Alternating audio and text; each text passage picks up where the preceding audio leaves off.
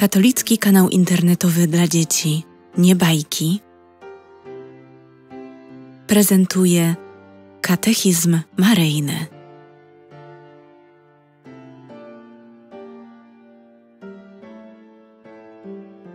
Część druga. Okres od zwiastowania do wniebowzięcia. Komu jako pierwszemu przed innymi ukazał się Chrystus po zmartwychwstaniu? Ogólne przekonanie oparte na tradycji i na zdrowym rozsądku utrzymuje, że Chrystus bezzwłocznie po swoim zmartwychwstaniu ukazał się swej matce jako najpierwszej przed wszystkimi innymi.